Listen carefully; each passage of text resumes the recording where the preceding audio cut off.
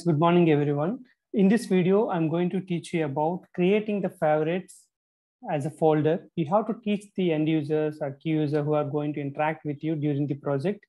And you have to tell them how to create the multiple folders and as per their regular work. Let's take an example. If you see our SAP Easy Access, here we will see that two options. One is SAP menu, other one is favorites. If you see SAP menu, the SAP all standard transaction codes are available. For example,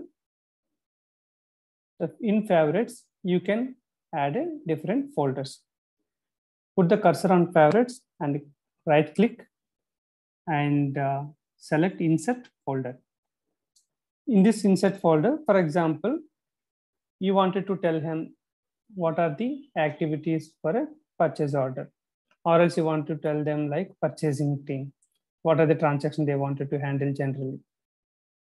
Let's take purchasing team. Okay. So generally, what kind of transaction they can use it?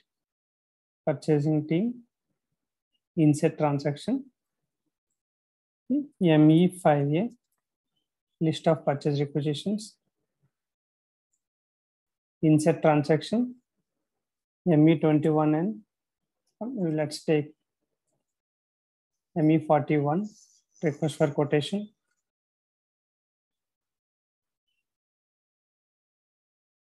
ME42 maintain quotation. ME47 quotation comparison ME 49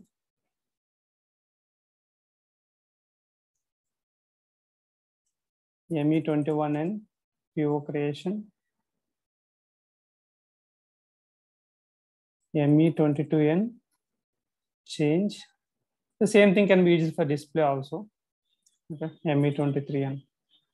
Let's take, these are the transactions he generally use it. We can take one more report, ME2N. If you want to drag anything uh, here and there, right, you can drag it like this. Okay. ME5A, first you wanted to have or you wanted to have like this. Okay, anything if you want to move it here and there, you can put and then move it. Like that you can move. So this is the way how you can uh, teach users. So purchasing team, for example, if somebody is in um, inventory, how they can do it. Or else all important reports, they want to keep it like important reports. Insert folder, maybe inventory reports. So what kind of inventory reports they are regularly used? You can see M, MB 52.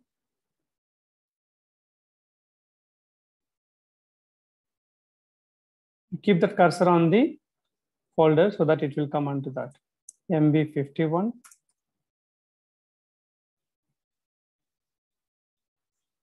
Maybe MMB Okay. So these kind of all folders they can create. So they don't have to run for the transactions and they know that what are the regular activities and purchase order, purchase requisition like that also you can teach them how to create the subfolders. For example, under purchasing team, they wanted to have one more folder. Okay. They can create one more folder. It's mainly for PO approval. Let's take an example. So under PO approval, they can keep the transaction ME 28 or 29 and whatever transaction they were going to use it. So within the folder. So this kind of folder management also we have to teach to that users, the key users, so that they will teach end users. They can keep the regular transactions. Okay, every day when I come, I check that open purchase requisitions and any quotations required, then only I create the quotation, or else I will just um, directly create the PO. So like that, they can create their regular activities and even they can create multiple folders for the multiple activities and all.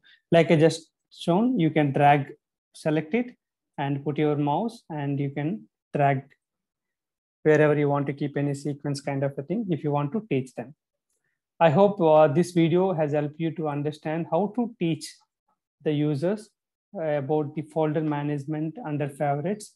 That will be helpful for them to do their regular activities and it will be uh, useful for not only for users, even for the key users also when you're using that one. As a consultant also the regular transactions what you're using, you can create a folder and um, quickly you can access it if you don't remember because we don't have to buy hard the transaction codes as an SAP consultant or even as an user.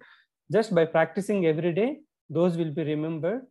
And this kind of folder management will be helpful for you to manage your regular transactions and without spending time for uh, remembering or searching again. Okay, those kind of uh, things can be avoided, which will save time. And the same folder management will be helpful for if any new joiners are joined, you can teach them easily so they also can proceed with the same plan. I hope this video will be helpful for you during your projects, whether it is implementation or support. If you like the video, hit the like button and uh, keep sharing our videos with your SAP circle. Thanks again.